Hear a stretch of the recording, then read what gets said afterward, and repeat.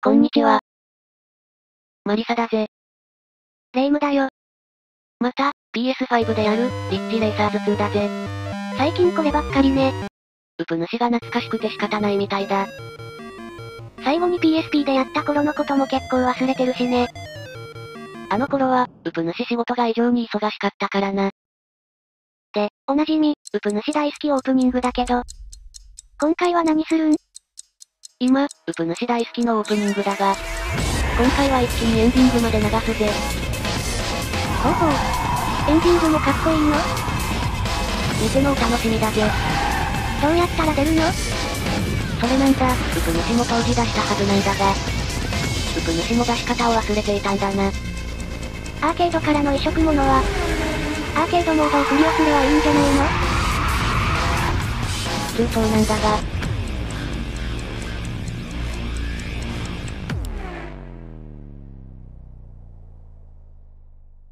何？黙ってるの？すまんすまん、ウプ主が見とれていたぜ。ああ、ウプ主、変態。で、だ、このゲームのアーケードモードなんか。何通りもできて、終わらんぜ。確かに。で、ウプ主は、ワールドツアーズを進んでいたら、いきなり出たんだな。へえ。ウプ主はベーシックツアーは全部クリアして、プロツアーを順番に進んでいた。で、プロツアーの24にたどり着いて、最後のレースを走る。最後のレースは1位にならないと進めないのよね。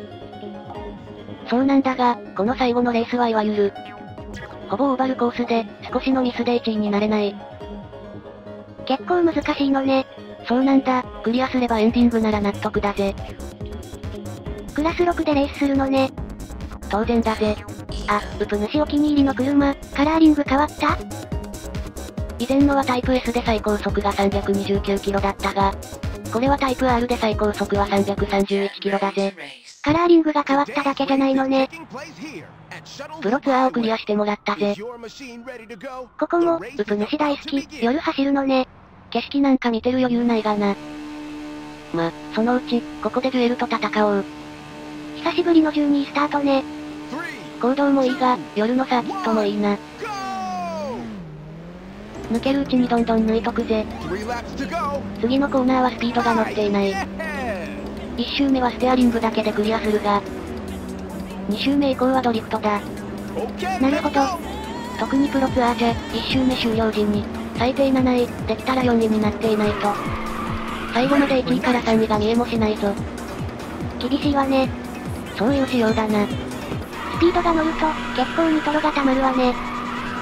このコースは、溜まったニトロの使い方が難しいぜ。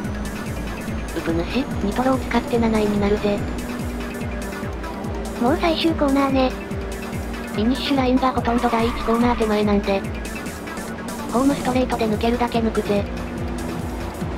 ウプ主、2周目までにギリギリ4位になったわね。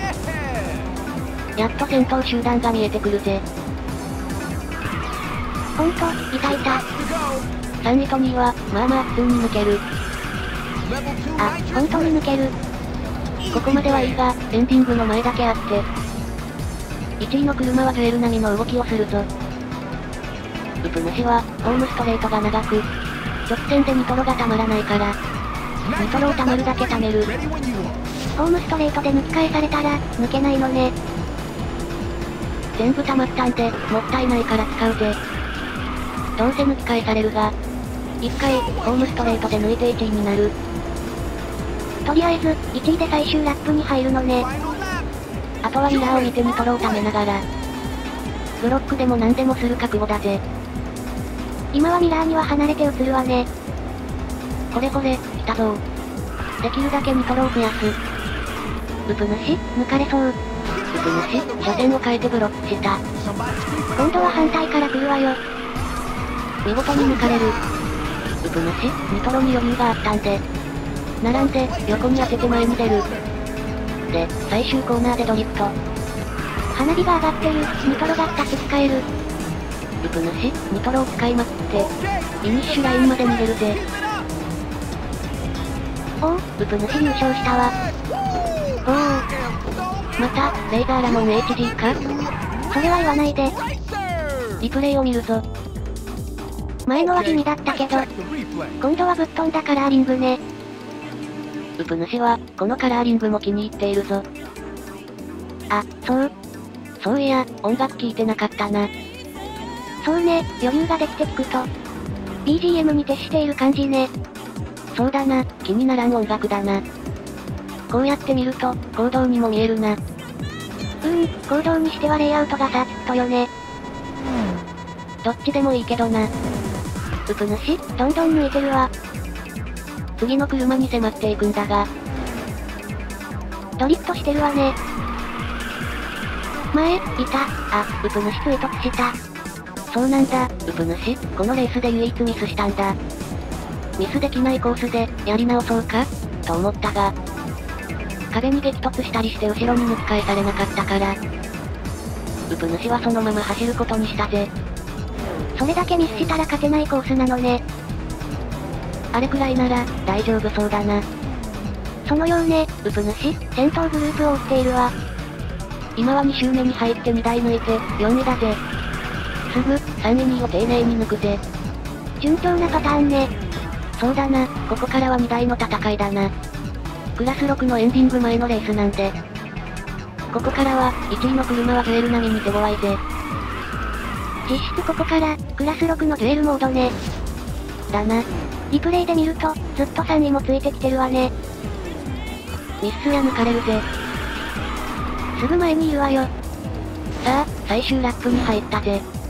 ウプ主、ストレートで、とりあえず抜いてみる。話せないわね。ウプ主にできることは、ニトロを貯めることだ。たくさん温存ね。右から抜かれるわよ。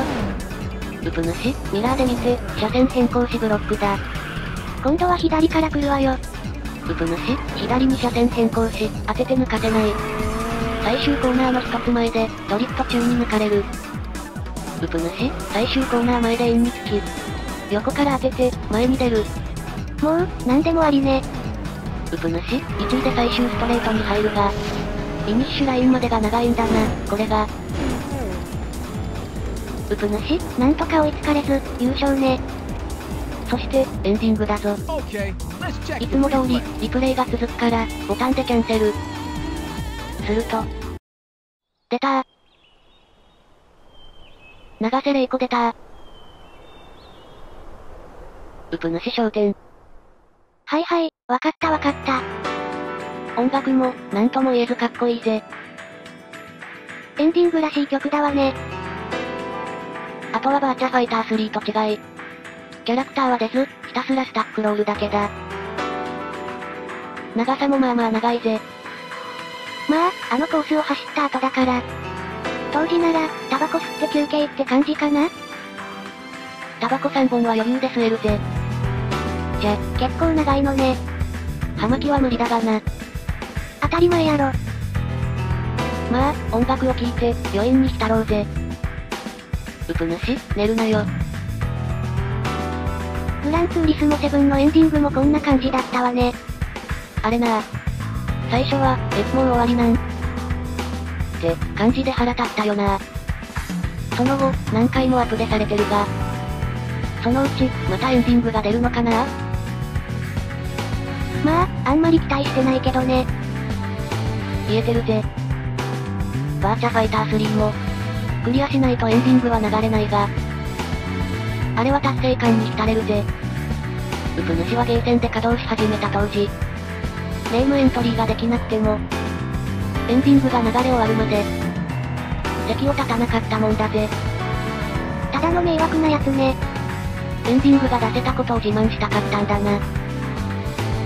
アホやな。しかし、長いわね。まあな。今回は、この後も少しありますので、視聴者の皆様方、もう少しお付き合いいただければ、幸いです。なんなら、エンディングが終わるまで、カップ麺でも作ってくださいませ。そんな時間あるの ?3 分でできるのなら時間あります。私も作ろうかな私のも頼む。USJ の、スパイダーメンでいいあれな、一時期なかったが最近行ったら売ってたな。結構美味しいわよね。さすが日清だぜ。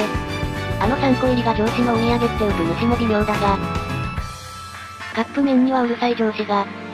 今まで食べた中で、最高なんて絶賛していたぞ。ウプ主？よかったわね。もしかしたら、嫌味かも？いや、あの上司に関しては大丈夫、本気だ。じゃ、ウプ主？大丈夫ね。だな。それより、エンディングの後ゲームはどうなるん？これプロツアーの24をクリアしたら流れてるだろ？この後もプロツアーは続くんだぜ。そうなの。だが、次からのレースはデュエルモードみたいに。1対1で、これまたありえん速さの車と戦う。最初は、アホみたいに速いトラックだぜ。ウプ主も、トラックを見て、思い出したぜ。おお、まだ遊べるのね。相手が、もう反則級に速いがな。やりがいはあるぜ。やっぱりリッチレーサーの新作をプレイしたい。リッチレーサーファンはみんな絶対思ってるよな。なんで出ないのかな？さあな、もしかしたら、ナムコは出したくても、バンダイが出させてくれないのかな？真相は私らにはわからないわね。グランツーリスモ7は売れてるんだよね。レースゲームが流行らない時代でも、ああいうのは売れるみたいだな。と、言って、あの方向には行ってほしくないぜ。そうね、リッチレーサーの世界を貫いてほしいわ。長瀬玲子も出してほしいぜ。変態ウプ主の願望ね。当然、そうだぜ。最初の設定の生年月からすると。おう、もう、50歳近いぜ。それは知らないふりをする。だな。リッチレーサー7をプレイしたくなってきたなそうね。実家に箱に入れておいてある PS3 動くかな？ドリキャスが動いてるから、動くんじゃない？ウプ主、その辺は妙に几帳面だからな。今度帰ったら持ってくるか。あ、エンディング終わった？やっと、終わりだぜ。まだ、真っ黒やけど。もうすぐ、プロツアーの続きの画面になるはずだ。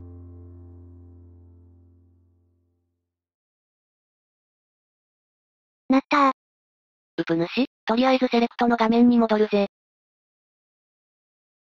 ウプ主、早く戻りなさい。戻るぞ。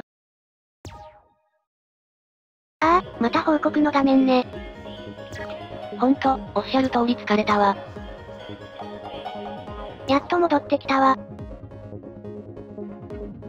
え、バーチャファイター3やんそうだぜ、デュエル、じゃない、ジュラルを倒すぞ。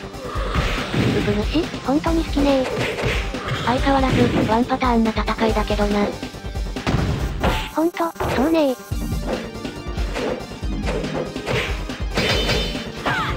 ジュラルにも、ダウン攻撃だな。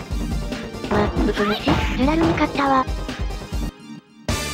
あなたには夫婦が足りないわ。楽しい、程よい長さのエンディングだ。さっきも言ったが、バーチャファイター3では、毎回モードをクリアしないとエンディングは見れない。ステージ8までクリアしたら、ジュラルに負けても見れるのよね。そうだ、ジュラルはあくまでボーナスステージだな。ウプ主は、エンディングを見せて自慢したいのよね。ウプ主らしいな。だが、毎回クリアするのはちょっとしんどいぜ。まあね、途中で乱入されて負けたりするし。アーケードでも、ドリキャス版でも同じ仕様だ。で、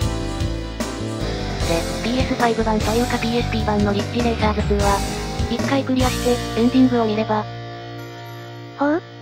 次からは、いつでもエンディングだけ見れるんだぜ。へえ、そうなん。そうだぜ、ウプ主焦点しまくりだぜ。き、気色悪ー。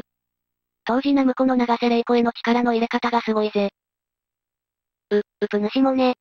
ま、いいわ、で、どうやるん？こうだぜ。まず、ワールドツアーズの画面からだ。また、報告ね。次のツアーの選択画面で下に行き、プライズを見るを選択するぜ。出たこの静止画面だけで、ウプ主焦点。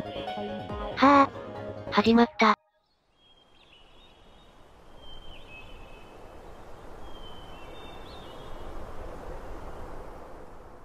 ウプ主、大丈夫か？ウプ主には1日何回までなんて制限を設けるべきね。あとは同じ、ひたすらエンドロールだ。ウプ主以外にも、喜んでいる人はたくさんいそうだな。ナムコも粋な計らいをするわね。そうだな。で、またエンディング終わりまで見るの？ウプ主的にはそうしたいんだろうが。いくらなんでも長いんで。視聴者の皆様方もお疲れだろうから。ご挨拶して、今回は終わろう。それがいいわね。今回の動画はこれにて終了です。最後までお付き合いしていただいた皆様方。お疲れ様でした。何かお気づきの点やリクエストが、ございましたらコメント欄に。もし、この動画が気に入っていただけましたら、チャンネル登録と高評価をいただけましたら幸いです。それでは皆様お忙しいところ、ご視聴いただきありがとうございました。今後ともよろしくお願いいたします。